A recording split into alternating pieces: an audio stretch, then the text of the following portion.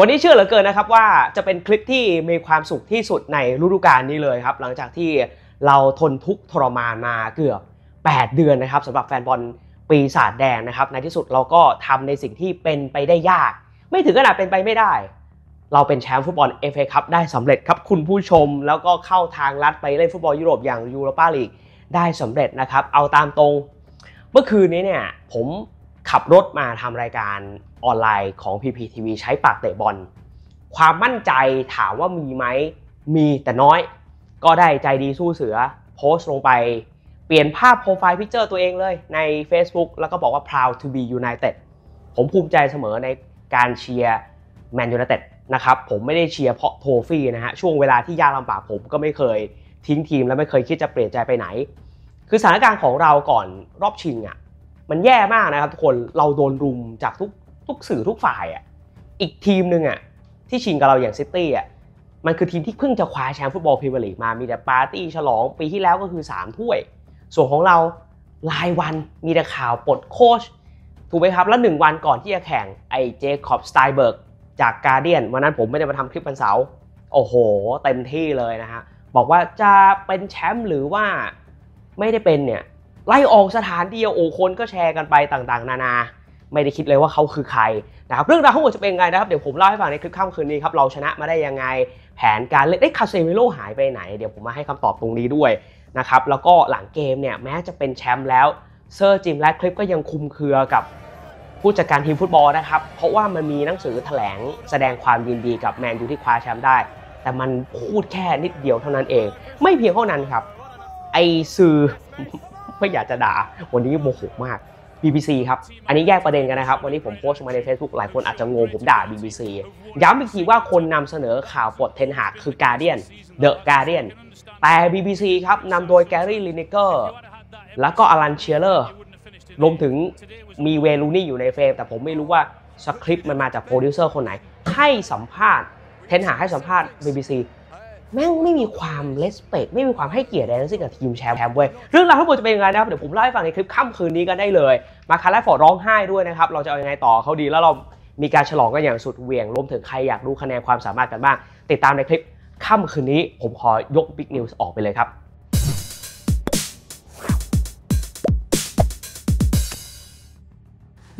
ในช่วงของสะสมค่ำคืนนี้ครับ ฉลองความเป็นแชมป์ฟุตบอลถ้วยที่เก่าแก่ที่สุดในโลกครับ วันนี้ผมเอาผ้าพันคอตำนานในกล่องนี้ มาให้คุณผู้ชมได้สะสมกันนะครับ วันนี้เรามี 3 legend เลยครับ ไปกันที่คนแรกครับ ฉลองแชมป์กันหน่อยก็คือเซอร์อเล็กเฟอร์กูสันบุรุษที่ยืนปรบมืออยู่บนอัฒจันทร์ที่เวมบลีย์เมื่อคืนนี้ฮะ กับเซอร์จิมแรดคลิฟนะครับ นี่คือตำนานที่มันใกล้เคียงกันจริงๆ แล้วสาธุขอให้มันเป็นแบบที่พวกเราคิดกันจริง ๆ ก็คือเฟอร์กี้เนี่ยคุมทีม 3 ปีแรกเกือบโดนไล่ออก นะครับแล้วก็ได้มาร์คโรบิน คนที่เป็นกุนซือโคเวนทรีที่เราเกือบแพ้ในรอบรองชนะเลิศนี่แหละยิงประตูให้แมนยูไนเต็ดได้ ในวันนั้นเนี่ยมีทุกคนขับไล่เฟอร์กี้แล้วนะครับ สุดท้ายเซอร์เล็กได้แชมป์เอฟเอคัพถ้วยใบที่เราได้เมื่อคืนเนี่ยฮะแล้วก็ฉลองความยิ่งใหญ่มา 26 ปีครึ่งนะครับ วันนี้ผมมีภาพเป็นของท่านเซอร์ ใครอยากได้นะครับ จากหน้าสนามโอลด์แทรฟฟอร์ด อันนี้คือฝากเขาหิ้วนะครับ วันนี้ผมจะให้ราคาพิเศษนะฮะ อันนี้ไม่ได้มาจากทริปสานฝันนะครับที่สำคัญหมดไปเป็นที่เรียบร้อยแล้ว ฝากเขาหิ้วจริงๆต้องเพิ่ม 300 จาก1,500เป็น1,800แต่วันนี้ผมคิดราคาหิ้วเองให้เลยครับ 1,500 บาทใครอยากได้ผ้าพันคอของเซอร์อเล็กเฟอร์กูสันจากหน้าสนามโอลด์แทรฟฟอร์ดครับ1,500ครับมีเพียงแค่ 5 ผืนเท่านั้น คนที่ 2 ครับ วันนี้ปล่อยกันแบบโหดๆเลยก็คือตำนานหมายเลข7 เอริกคันโตนาครับผู้ซึ่งเปลี่ยนแปลงชะตาชีวิตของแมนยูไนเต็ดครับคนแรกคือเซอร์เล็กคนที่ 2 ที่ทำให้แมนยูคว้าแชมป์ฟุตบอลพรีเมียร์ลีกหรือพรีเมียร์ชิพในสมัยก่อนคือกองโต้ครับ ใครอยากได้ตำนานหมายเลข7คนนี้ที่ปกตั้งมาเอาไปได้เลยครับ มีอีก 5 ผืนนะครับ ให้ราคาเดียวกันที่ 1,500 บาทเหมือนกันนะครับ และคนที่ 3 ครับ ไม่มีใครไม่อยากได้เขาคนนี้ครับ เขาคือเดวิดเบคแฮมครับ เทพบุตรสุดหล่อ ตำนานหมายเลขเจ็ดต่อจากเบคแฮมเนี่ยต่อจากเอริกคันโตนาก็คือ DB7 คนนี้เนี่ยแหละครับ คนที่ยิงครึ่งสนามใส่นีลซัลลิแวนในฟุตบอลพรีเมียร์ลีกวิมเบิลดันและก็โด่งดังมาถึง Netflix จนถึงวันนี้ วันนี้เป็นของสะสมที่สุดล้ำค่าหลังจากเราได้ประสบความสำเร็จทันทีหนึ่ง8 เดือนที่รอคอยฮะ วันนี้เราได้ยิ้มแล้วนะครับ วันนี้ผมจัดมาให้เลยครับ ผ้าพันคอเบคแฮมผ้าพันคอเอริกคันโทนากองโต้ นะครับ แล้วก็ผู้บุกเบิกของเราถ้วยใบแรกที่ทำให้เฟอร์กี้อยู่รอดคือ FA ครับเซอร์อเล็กเฟอร์กูสัน3ผืน ผมให้ราคาพิเศษทั้ง 3 ผืน อันนี้คือฝากเขาหิ้วมานะฮะ ส่งเสียค่าชิปปิ้งมา ปกติต้องเพิ่ม 300 เป็นพันแปดวันนี้เราคิดให้ผืนละพันห้ามีอย่างละ 5 ผืนเท่านั้นครับเบค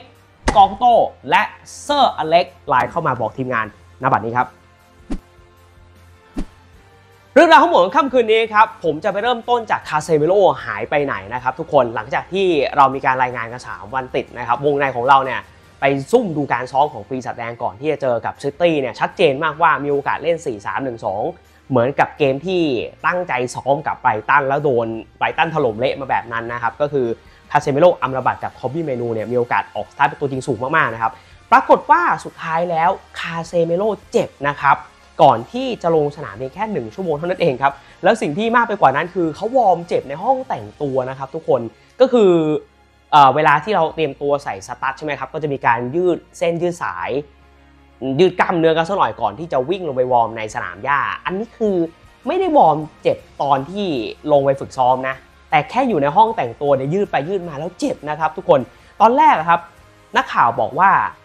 handout รายชื่อปกติมันจะปริ้นมาให้นักข่าวเป็นกระดาษ A4 แบบนี้เลยนะครับ มีรายชื่อของคาเซมีโร่เนี่ยอยู่ที่ม้านั่งสำรองนะครับ ย้ำว่าไม่ได้ออกสตาร์ตตัวจริงตั้งแต่แรกอยู่แล้วนะครับ เพราะฉะนั้นเนี่ยการที่เขาหายไปอาจจะไม่ได้กระทบจิตใจของเพื่อนร่วมทีมเท่าไหร่ คือถ้าหากว่า11รายชื่อตัวจริง มันมีรายชื่อของเขาอะแล้วเขาเจ็บ แล้วต้องโดนถอดออกอันเนี้ยมันจะทำให้เพื่อนเขวนิดนึงว่าโอ้โหวางแผนมาเป็นอย่างดีแต่ว่าคาเซมิโร่ก็คงความฟิตไม่ถึงตั้งแต่แรกแล้วก็ อยู่ที่ม้านั่งสำรองนะครับ แต่สุดท้ายครับตอนบ่ายโมง 45 นาทีครับสโมสรแจ้งทาง FA นะครับเพื่อเปลี่ยนชื่อเป็นการด่วน เพราะว่าไม่พร้อม และก็ส่งวิลลี่คัมบวาลาลงไปเป็นม้านั่งสำรองแทนนะครับสุดท้ายอาร์มระบัดก็ได้คู่กับค็อบบี้ไมนูนะครับและแมนยูไนเต็ดตัดสินใจเล่น false nine โดยเอริกเทนฮากเหมือนเดิมนะครับเอาฮอยลุนด์เป็นตัวสำรอง ซึ่งแผนนี้ครับแมนยูทำได้อย่างยอดเยี่ยมนะครับคือเมื่อวานผมก็เข้าโค้ชจุนโค้ชจุนก็บอกว่าเป๊ปกวาร์ดิโอล่าเนี่ย ก็คงคิดไว้หลายหลายสูตรว่าจะเจอแมนยูในหน้าไหน ถ้าหากมาหน้าเดิมก็คือแรชฟอร์ดซ้ายการ์นาโช่ขวาเหมือนที่ผมบอกอามัดดิยาโลหลุดแน่นอน การ์นาโช่ขวาแรชฟอร์ดซ้ายฮอยลุนด์หน้าเป้ายืนเป็นสามกระดานเงี้ยโอ้โหดักง่ายเลยฮะสี่คนของซิตี้ไม่ว่าจะเป็นอาร์เก้หรือว่าจะเป็นจอห์นสโตนส์ไคล์วอล์คเกอร์ยอสโก้กวาร์ดิโอลมันดัก 4-3อย่างนี้ได้เลยฮะ แต่นาทีนี้เทนฮากซ้อมมาแล้ว ก็คือจะไม่มีหน้าเป้าที่เป็นตัวค้ำ ถ้าหากเวลาเราไม่มีการครองบอลบรูโน่จะเป็นคนแรกในการวิ่ง pressing แต่ว่าถ้าหากมีโอกาสเปิดจากกรอบเขตโทษไปเนี่ยก็จะมีตัวสอดแต่ว่าเมื่อคืนเนี้ยทางฝั่งของแม็กโทมิเน่ไม่ใช่ false nine นะครับ จะเห็นได้เลยว่าเขาต้องพะวงเกมรับในการตันอยู่ตลอดเวลาเออซาเมราเคิร์ใช้คำว่าแม็กโทมิเน่เมื่อคืนนี้เป็นเป็นกาวครับ เป็นกาวตราช้างระหว่างหลังกับหน้าครับ คืออยู่เป็นตัวหลักในการจัดการเกมรับของ เกมรุกของแมนซิตี้อย่างโรดรีอย่างพวกโควาซิชพวกนี้นะครับทีนี้สิ่งที่เราทำได้อย่างยอดเยี่ยมก็คือ เราไม่เสียประตูเร็วครับ ตามแผนเหมือนที่ทารอมาเชลก็เขียนบอกว่า รับแน่น ๆ กลางแพ็คดีๆ แล้วก็อย่าเสียเร็วเพราะว่าไอ้ season ที่แล้วเนี่ยเราเข้าชิงแล้วเราโดนอิลคายกุนโดกันยิงแต่ลูกแรกอะตั้งแต่นาทีที่1อะเพราะฉะนั้นเนี่ยมันไม่มีอะไรแย่ไปกว่านี้อยู่แล้ว แต่ก็เกือบนะครับ ถูกต้องไหมเราเวลาเราชมนักฟุตบอลเราอย่าชมอย่างเดียวโดยที่หน้ามืดตามัวนะครับผมก็เลยจะบอกว่า นาทีที่ 1 ที่ลิซานโดรมันไปกระแทกเออร์ลิงฮาแลนด์แบบนั้นเนี่ยถ้ามองอย่างมีเหตุผลไม่ควรทำนะครับ แม้ว่ามันจะดูได้ใจ เออเอาเดฮาแลนด์มันล่วงลงไป ผมก็เออไม่ง่ายไม่ง่ายโดโดนตัว 175 ชน 194 คว่ำอะไรอย่างเงี้ยแต่เอาความเป็นจริงไม่ควรเสี่ยงขนาดนั้นนะครับ คือไม่ได้กระโดดขึ้นไปแต่กระโดดกระแทกข้างหลังแบบเนี้ยกล้าพูดได้เลยนะครับว่าถ้ามันไม่ใช่นาทีที่ 1 มีโอกาสพิจารณา VR แล้วให้เป็นจุดโทษนะครับ โชคดีของเราคือมันนาทีแรก เกมมันอาจจะเสียถ้าให้จุดโทษถ้ามันมันไม่ได้ชัดขนาดนั้นด้วยนะครับ และผู้ตัดสินเมื่อวานนี้ครับเป็นกรรมการที่ไม่ค่อยได้ตัดสินในเกมรอบชิงชนะเลิศอย่าง mainly นะครับคือ FA พยายามดันพวก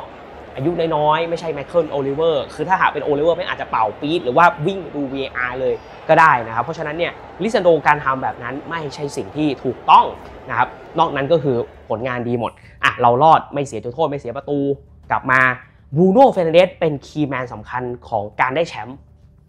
ความโชคดีของแมนยูคือข้อมือมันซ้นครับทุกคนมันคือหนังชีวิตเลย เพราะเฟอร์นันเดสเนี่ยถ้าหากไม่เจ็บ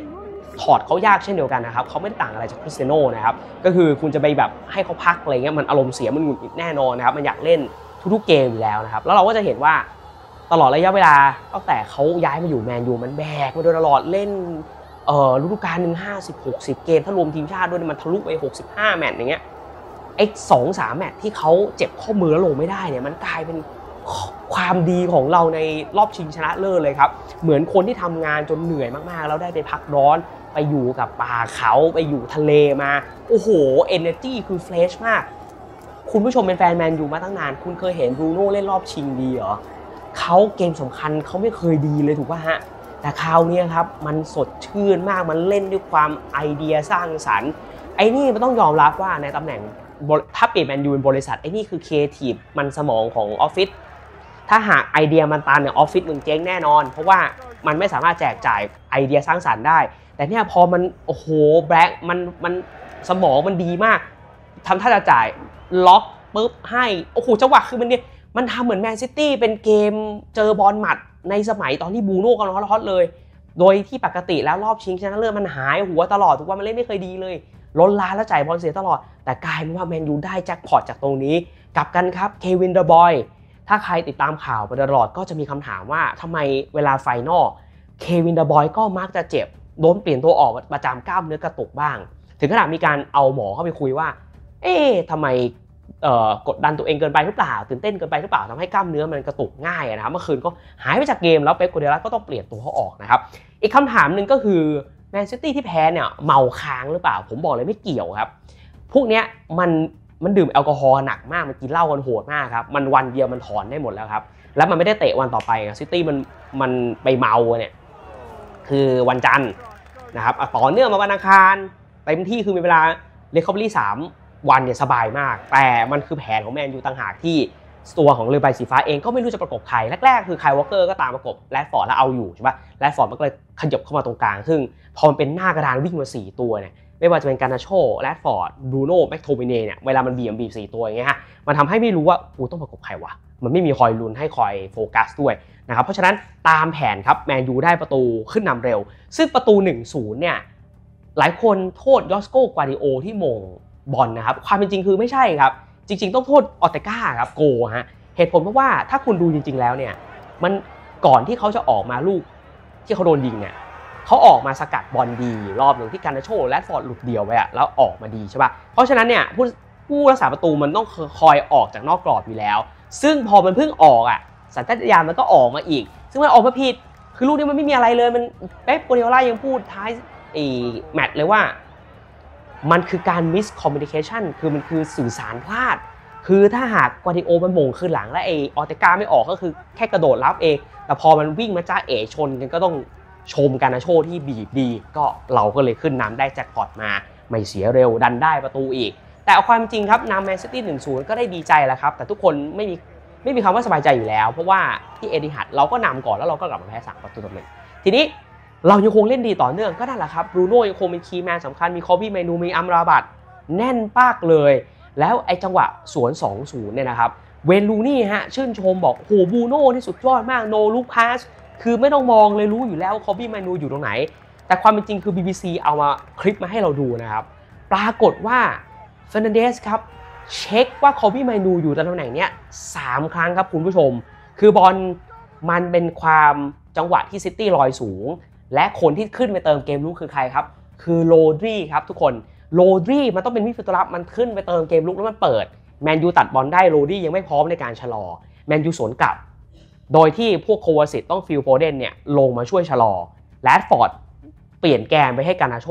ผมบอกเลยครับลูกเนี้ยฟิลโฟเดนพลาดครับ ที่ไม่วิ่งตามประกบบรูโน่เฟร์นันเดสคือเขาประกบแบบตัวรุกอะมองมองมองมองตามตามนิดนึงอะแล้วก็ทิ้ง ให้บรูโน่เป็นคนเดียว ซึ่งบรูโน่เป็น playmaker ของแมนยูอยู่แล้วปล่อยแบบไม่ตายแน่นอนนะซึ่งบรูโน่เช็คหนึ่งอ้าวใครคอบี้เมนูแม่งว่างไว้อะเช็คสองโอ้มึงยังว่างอยู่เว้ยขอบอลการ์นาโช่เลยมามามาคนก็นึกว่ามันหวดแน่ฮะทำท่าหลอกปุ๊บรู้อยู่แล้วไอ้คอบี้เมนูอยู่นี่ปาดให้ แล้วโอ้โหความเหมาะเจาะคือคนจบสกอร์มันเป็นคนวางเท้ายิงดี ลูกนี้ถ้าเป็นแฟนแมนยูรู้ดี เป็นไอแม็คโทมิเนย์เหรอเป็นแรดฟอร์ดเดี๋ยวมันกดเต็มข้อเชื่อเลยตรงตัวถูกไหมแต่คอบี้แม่งเอียงตัวมาเลยแปร สวนทางเรียบร้อย 2-0 ครับ เท่ากับว่าไอเด็กนรกคนเนี้ยมันยิงทั้งลิเวอร์พูลมันยิงทั้งแมนเชสเตอร์นะฮะ ทั้งที่มันเพิ่งแจ้งเกิดมาในฤดูกาลแรกแค่6เดือนนะครับ สุดยอดจริง ๆ นะครับ ซึ่งพอเราเข้าห้องแต่งตัวด้วยการนำสองลูกเนี่ย ไม่เคยเห็นบรูโน่ทำมืออย่างเงี้ยนะก่อนเข้าไปพักครึ่งอะทำมืออย่างนี้เลยนะครับ แต่พอครึ่งเวลาหลังเป๊ปก็แก้เกมมาดีตามคาดนะครับ ส่งโดกูกับอาคานจีลงทันที ซึ่ง ทางฝั่งของอาคานจีมันก็มาปิดช่วยอาเก้เอาอาเก้ออกไป พอเควินเดอบรอยน์โดนถอดออกไปส่งฮูเลียนอัลวาเรซมาอีก โดกูนี่คือดวลกับวานบิสซาก้าตลอดเวลา ซึ่งก็ไม่มีปัญหาอยู่แล้ววานบิสซาก้าบอกเอามาดิมาพร้อมดวลนะครับ แต่ลูกสองหนึ่งก็ต้องยอมรับตามตรงว่าโอนาน่ามันไปดีแต่ อุตส่าห์เซฟลูกไคล์วอล์คเกอร์ยิงไกลได้อย่างสุดยอด และคำสัมภาษณ์ของเขาก่อนรอบชิงเนี่ยช่วยทีมได้เยอะมาก มันเป็นผู้นำมันพร้อม ที่จะดวลกับแมนซิตี้บอกแมนซิตี้ทำไมต้องไปกลัวผมเล่นกับอินเตอร์ผมก็เจอมาแล้ว แต่ว่าลูก2หนึ่งเนี่ยเขามีส่วนผิดพลาด เจอโดกูล็อกแล้วยิงเร็ว และตำแหน่งของเขาเนี่ยเป็นคนที่ถ้าหากยืนพลาดเขาจะมักจะเซฟไม่ได้ เพราะว่าเขาปฏิกิริยาไม่ได้เร็ว ไปยืนโอ้โหทิ้งเสาหนึ่งไว้ขนาดนั้นคือโคจุนบอกมันคงกลัวโดนปั่นเสาสองแต่โดกูมันยัดเสาแรกอยู่แล้ว ซึ่งปัดแล้วชนเสาเข้าคือแบบ เสียได้ยังไง แฟนบอลเนี่ยด่ากระหน่ำเลยนะครับบอกโอ้โหอุตส่าห์เซฟมาดีนี้ต้องนานแล้ว ถือว่าเป็นหนึ่งในการซื้อตัวซีซั่นนี้ครึ่งซีซั่นหลังคือดีมากอยู่แล้ว ถ้าเราไม่นับเขาตกรอบที่แชมเปี้ยนส์ลีกทำให้แมนตกรอบใช่ป่ะโอนาน่ามันก็รู้มันก็ต่อยเสาโกลใช่ป่ะแต่จริงๆลูกเนี้ยมันไม่มันไม่ควรพลาดจริงๆนะครับแต่โอเคก็ในที่สุดเราก็เอาชนะมาได้ 2 ประตูต่อหนึ่งนะครับซซึ่งไอตอนทดเวลาบาดเจ็บใครเหมือนผมบ้างครับ ไอตอนลูกสุดท้ายที่บรูโน่มันเตะบอลออกข้าง เพื่อจะรอเสียงนกหวีดเลยแล้วแบบ มึงเตะทำไมวะผมก็พยายามคิดว่ามันหันไปถามกรรมการหรือเปล่าหรือมันหันไปเหลือบมองนาฬิกาของผู้สินไหมนะครับ คือแบบมันมั่นใจขนาดนั้นเลยนะครับมันเตะบอลออกเพื่อให้เสียงวัดดูว่าผู้สินจะเป่านกหวีดแล้วเป่าจริงๆนะฮะซึ่งเราเป็นแชมป์ในท้ายที่สุดนะครับ เราก็ได้ฉลองกันอย่างสุดเหวี่ยงนะครับ ในห้องแต่งตัวนี่ก็คือดีใจกันเต็มที่เลยนะครับ แล้วก็เอริกเทนหาก็คือได้ ได้ต่อลมหายใจต่อยาวๆ แต่ว่าอย่างไรก็ตามครับ BBC ครับคุณผู้ชมผมพูดต่อเลยก็คือให้สัมภาษณ์ได้ไม่ให้เกียรติโคตรๆเลยครับ ผมไม่อยากจะพูดด่าเฉพาะลินิเกอร์กับอลันเชียเรอร์ที่เป็นคนพูดนะครับ ผมไม่รู้ว่าสคริปต์เนี่ยมันเตรียมมายังไงนะฮะ เพราะว่าคงถามไม่ดีอะคำถามแรกก็คือถามเทนฮากว่า เอ่อคุณน่าจะหงุดหงิดพอสมควรกับสื่อมวลชนที่แบบคอยจ้องจับผิดคุณตลอดเวลา รู้สึกว่ามันไม่แฟร์ใช่ไหมเทนฮากบอกใช่มันไม่แฟร์เชียเรอร์สอยเลยครับเชียเรอร์บอกว่าอ้าวแต่คุณจะมาไม่เห็นด้วยกับสื่อมวลชนได้ยังไงในเมื่อ วันนี้คุณเห็นแล้วว่านักเตะคุณเล่นดีมาก วิ่งเข้าใส่ tackle เข้าหา แล้วทำผลงานได้แบบเหลือรับประทานอะ แต่ว่าในลีกคุณไม่มีความสม่ำเสมอเองอะถ้าหากคุณเล่นแบบนี้คุณไม่มีทางจบอันดับที่ 8 หรอกถูกป่ะเพราะฉะนั้นคุณจะมาโกรธ media ไม่ได้นะครับเทนฮากก็หงุดหงิดเลยฮะแล้วก็พูดไปตามตรงว่าอ้าวก็คุณก็เห็นอยู่ว่านักเตะผมมันเจ็บเยอะขนาดนี้ ผมมาอยู่ที่นี่ 2 ปีนะ ผมมีโอกาสได้ full team อะไม่เกิน 4 ครั้งอะแล้วจะให้ผมทำยังไงอย่างวันเนี้ยผมยังไม่มีแม็กไกวร์เลย ผมยังไม่มีลุคชอว์เลยคาเซมิโร่ก็เจ็บ คุณไม่เห็นแล้วเพราะฉะนั้นเนี่ยเราก็ต้องมีการประนีประนอมซึ่งกันและกันมาถึงตรงนี้ผมจบ 2 ถ้วยได้ก็ไม่รู้จะพูดยังไงแล้วนะครับแกลลี่ลินนิเกอร์ก็รีบเบรกเทนหาว่าอ่าโอเคเข้าใจแล้วแต่ว่าคุณได้ได้ยินข่าวคือแทนที่จะทำให้เขาเบาลง ดันไปให้สัมภาษณ์ต่อว่าไอ้ดันไปถามต่อว่า แล้วคุณรู้สึกยังไงกับการที่คุณคงหงุดหงิดหน้าดูนะ หลังจากมีข่าวว่าจะโดนปลดก่อนแข่งแค่วันเดียวเลยเทนหากบอกผมก็ไม่ได้สนใจอะไรอยู่แล้วนะหน้าที่ผมคือเตรียมทีมให้มันดีที่สุดอะ คือเทนหาก็เริ่มสวนนะฮะคืออย่างว่าคือพวกคุณเน่ยเป็นสื่อมวลชนอะพวกคุณทำผลงานได้ดีมากเลยนะในอังกฤษอะเพราะอะไรรู้ว่าสื่อมวลชนอะมักจะทำให้ผู้เล่นกับผู้จัดการทีมมาเก่งขึ้น แต่พอเขาพลาดแค่เกมสองเกมคุณก็ hammer เขา hammer อีก hammer them คือแบบคุณก็ฟาดหัวเขาเชียร์เลอร์ก็เริ่มแบบเฮ้ยมันโมโหจริงเว้ยนะครับลินิเกอร์แม่งสวนกลับไปอีกบอกว่าโอเคโอเคเข้าใจแล้วอะไรเงี้ยนี่เทนฮากบอกคุณควรจะต้องใจเย็นๆรอบ้าง ไม่ใช่ว่าแบบพลาดกันเกมสองเกมว่าใส่ขนาดนี้นะครับเดี๋ยวนี้ก็บอกโอเคขอบคุณมาก congratulation นะ หวังว่าจะได้เจอกันอีกในซีซั่นหน้า คือพูดทำไมวะ คนเพิ่งแชมป์อยู่ คุณไปอวยพรเขาแบบเนี้ยว่าเออหวังว่าเดี๋ยวซีซั่นหน้ายังคงอยู่ต่อนะอะไรเงี้ยผมนั่งฟังสองรอบผมโคตรโกรธเลยนะเว้ย และที่ BBC ทำแล้วไม่เป็นลูกผู้ชายมากกว่านั้นคืออะไรรู้ปะในทวิตเตอร์ฮะตัดท่อนหลังออกครับ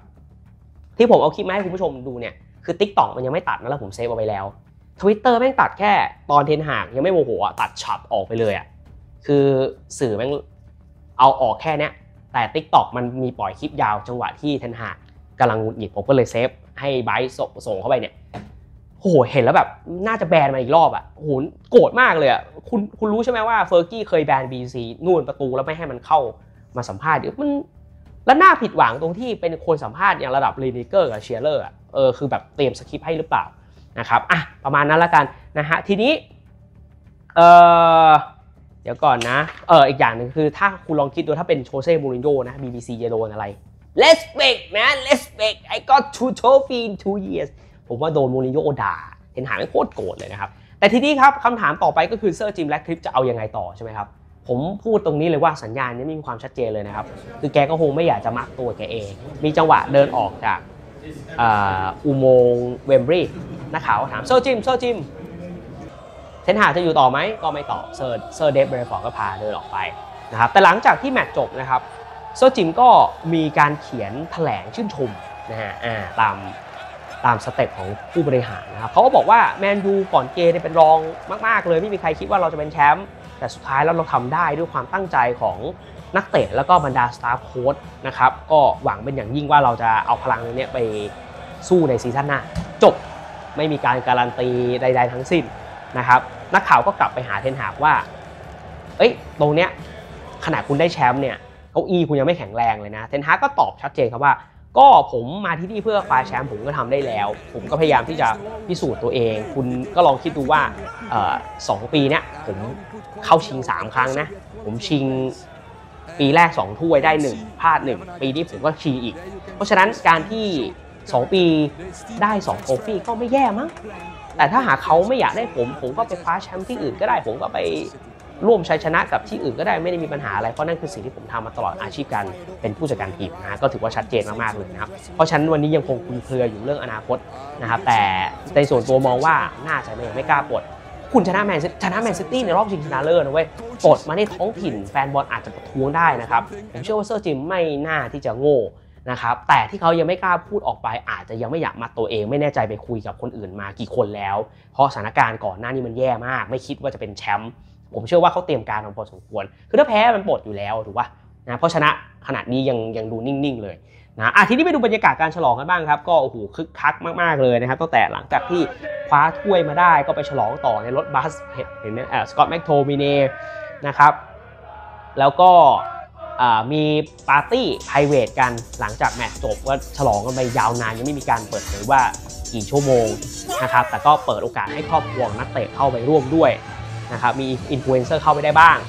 นะครับฮอยลุนด์กับ ลินเดเลิฟมีทุกคนแซวว่า โอ้โห ดื่มหนักสุดๆเลยนะครับเพี้ยนเลยเต้นยับเลยฮอยลุนด์พาแฟนไปด้วยนะครับแต่มีคนนึงครับที่ไม่ร่วมฉลองกับเพื่อนแล้วก็เป็นประเด็นอยู่ก็คือทางฝั่งของคาเซมีโร่นะครับตัดสินใจบินไปเที่ยวกับลูกเมียทันที